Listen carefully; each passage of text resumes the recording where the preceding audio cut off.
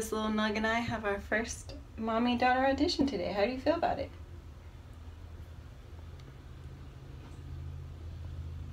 That's how she feels. She wants to um, cut my neck off or my head off.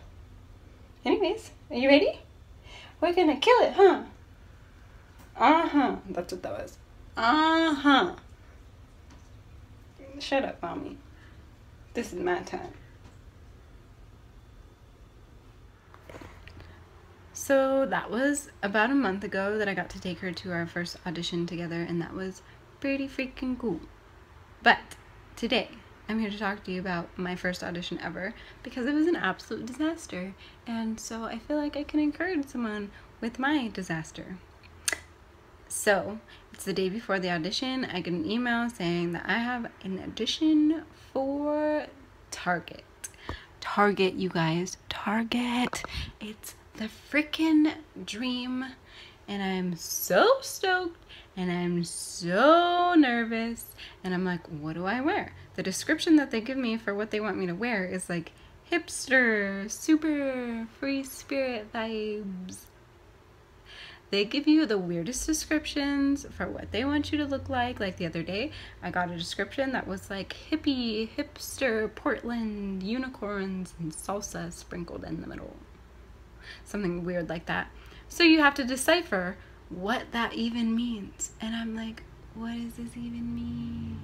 So I talked to my friend, end up talking about why I'm doing this in the first place, which really calms me down and reminds me to pray about the next day instead of freaking out about the next day. So I'm praying. I even ask God, tell me what to wear because I don't want to be thinking about this. I just want to be focused on what you want me to do.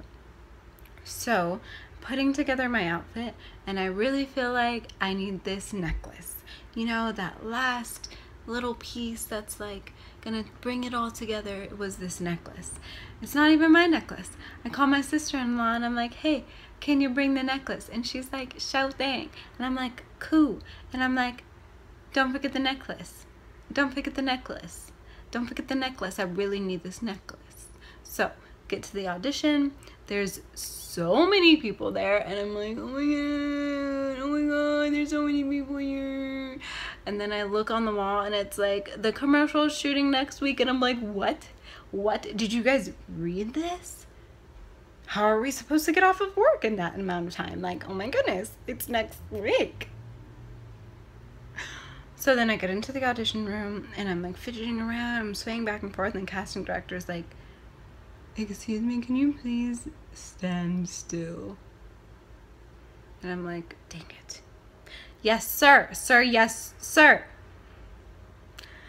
And then he's like, okay, I'm gonna ask you guys some questions about yourself, super casual.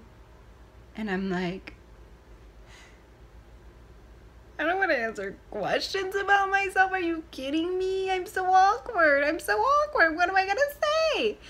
So he starts going down the line, asking great questions, really. Like he asked one girl, if anywhere in the world you can go, where would it be? And she's like, India. I just love the culture and the people and all the colors. And I'm like, wow, that's a great answer. And he gets to me and he's like, that's a really cool necklace. And I was like, oh, thanks. Like, my friend makes them to like travel around the world, places like India. Yeah, it's not even mine. Yeah. And he's like, Okay, well, um, you look pretty active. Do you play any sports? Sports? Do I play any sports? I don't know. Do I play any sports? I mean, in high school, I played sports. I mean, like, I did volleyball and, like, cheerleading. But is cheerleading even a sport? Will you consider that a sport? I think it's a sport. Um, no. He's like, okay, well, you look pretty active. Do you do anything? I watch kids? I mean, like, I'm not a creep or anything. I literally threw my hands up in the air and said, I'm not a creep or anything. So, anyways, then he's like, okay, well, I'm just gonna throw on some music. You guys can dance. Just act like nobody's there. And I'm like, okay, I can do that. I'm really good at that. Oh, hey. Hi. I'm like, okay, I can do that, no problem. I can dance like nobody's there. I got that down. So I do that.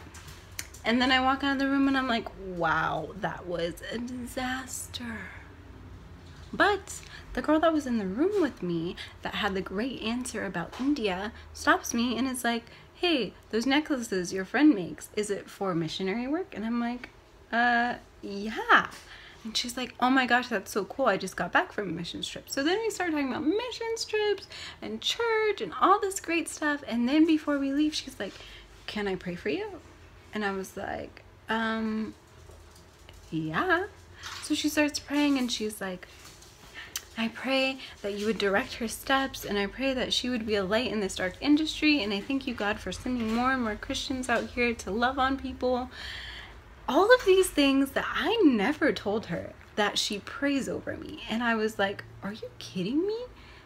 All of this because of this necklace that I really felt like I needed to wear. And I was just like, Wow, this is what I'm here for this is it like to build relationships to love on people even if i fall flat on my face and i look like a complete idiot my mission was accomplished for the day and that was amazing all that to say if you're trying something new if you're going out on a whim if you feel like god is telling you to do something and you go for it and you fall flat on your face it's okay it can still be used. You can still learn. I've learned so much from that.